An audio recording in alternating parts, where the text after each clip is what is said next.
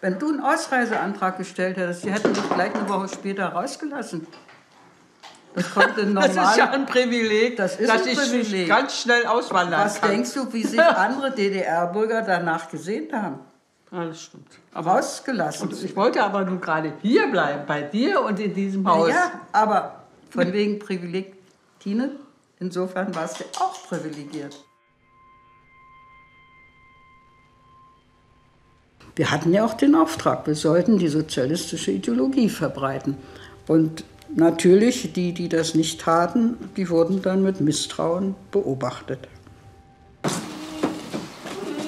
Guten Tag, liebe Mädels und Jungs. Das BMK BFL begrüßt euch recht herzlich zur Ferienlagersaison 1985 hier bei uns in diesem schönen Objekt an der See.